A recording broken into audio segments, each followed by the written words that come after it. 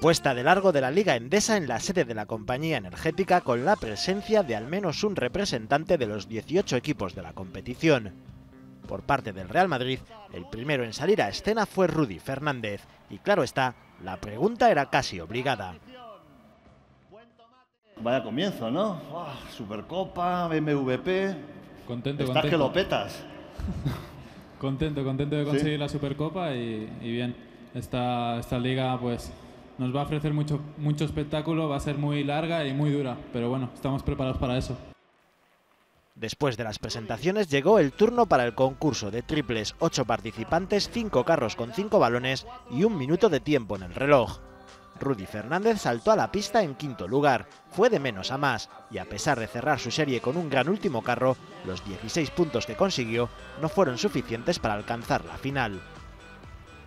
A la ronda decisiva llegaron Chaz Topper del CAI Zaragoza, Rafa Martínez del Valencia Basket y Sergei Gladir del Fuenlabrada, y fue precisamente el alero ucraniano el que conquistó el título de mejor cañonero de la liga con 18 puntos.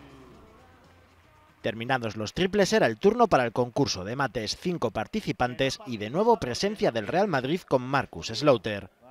Cada jugador tenía la opción de realizar tres mates. Después de cada uno, el jurado emitía su votación. El ganador sería aquel jugador que consiguiese el mate con mayor puntuación. Marcus Slaughter contó con la inmejorable colaboración de Sergio Rodríguez. En su primer mate, el Chacho le colocó el balón justo detrás del tablero para que Slaughter lo superase y machacase a una mano. Un mate difícil y arriesgado al que el jurado solo le otorgó 39 puntos. La acción mejor puntuada de la primera ronda fue este mate de Mohamed con 41 puntos, marca que igualó Slaughter con su segunda aparición en el concurso, cuando después de marcarse el mismo baile con el que celebró la Supercopa, saltó por encima del jugador del Blancos de Rueda Valladolid.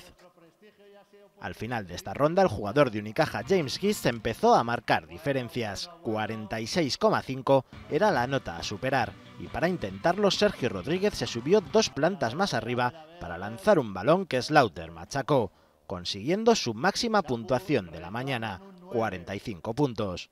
Sin embargo, el campeón del concurso fue James Gist, que se guardó para el final su mejor mate y la máxima puntuación otorgada por el jurado, 48 puntos. ¿Qué pasa? ¿Que estáis esperando?